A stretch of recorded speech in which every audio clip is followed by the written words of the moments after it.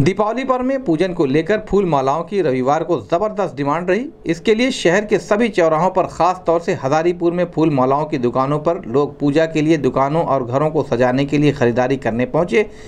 दीपावली पर्व में पूजन के लिए इसकी बढ़ती डिमांड की वजह से व्यापारियों ने लोगों से इसकी मुँह मांगी कीमत वसूल की। गेंदे का एक माला पैंतीस से पचास रुपये में बिका। वहीं पूजन के लिए एक कमल का फूल 20 से 50 रुपए तक बिका। इस संबंध में गोरखपुर न्यूज़ से बात करते हुए फूल व्यापारी संतोष कुमार सैनी ने बताया।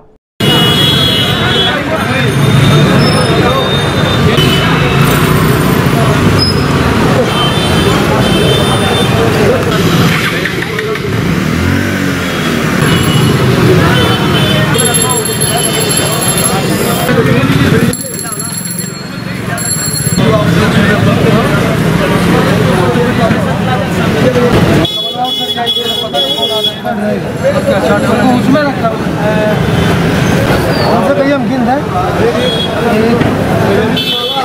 लास्ट बचा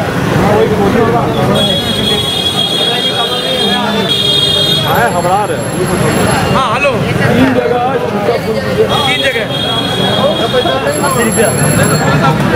हाँ। दे दो पचास पच्चीस रुपया आज कोई मोल मोल भाव नहीं।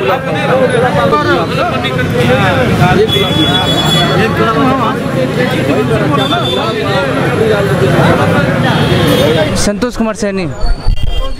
पाँच माला ठीक ठाक है, माला का डिमांड है। मतलब कुछ मंदी का असर उतना नहीं है, फूल माले पे। लेकिन ठीक है।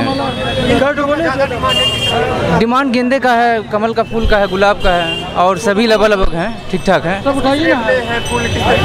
इस बार माला ठीक रेट आया सस्ता है। कुछ बहुत विशेष अगले साल की अपेक्षा ठीक है। लगभग चालीस से पैंतीस के आसपास का गेंदे का माला है। और अ, कमल का फूल है बीस रुपये के आसपास पच्चीस रुपये से यही सब है। में ठूस क्या था और लरी वगैरह है बीस रुपये में। डेकोरेशन पे लोग ले जा रहे हैं माल और आदमी की प्रॉब्लम है इसलिए दिक्कत हो रहा है। लेकिन लोग जनता अपने आप से ही स्वच्छ में सजाने में। और सब ठीक ठाक है।